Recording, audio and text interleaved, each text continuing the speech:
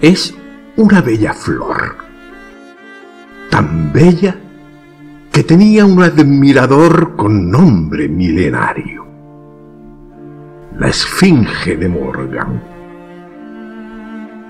Y no es un bicho raro, sino una polilla que sus cortejos se bordan.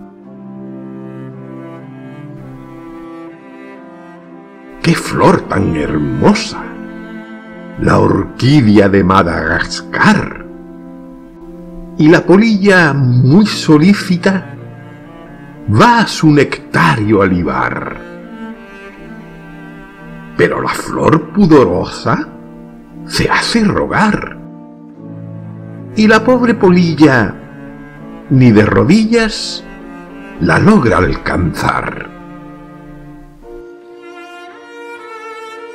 Pero tanto amaba a esa flor de blanco albuginio que en un esfuerzo apolíneo logró su lengua estirar.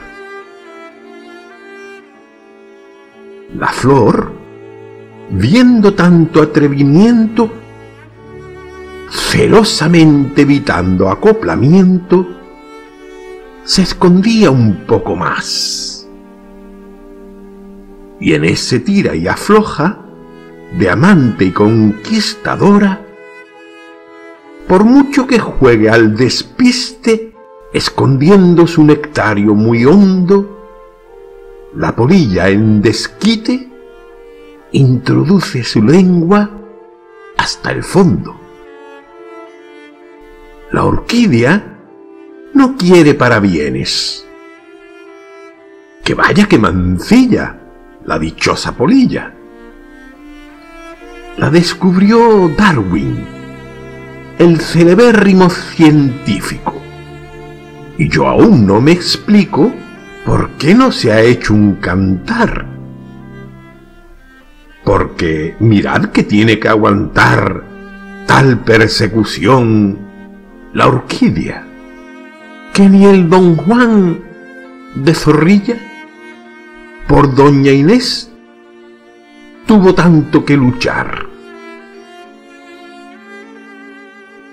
Y mientras más la flor se replegaba, en su virgínea pureza, más la polilla se adentraba con su espiritrompa, luciendo con gran pompa tamaña proeza, situándose en inteligencia como una gran eminencia.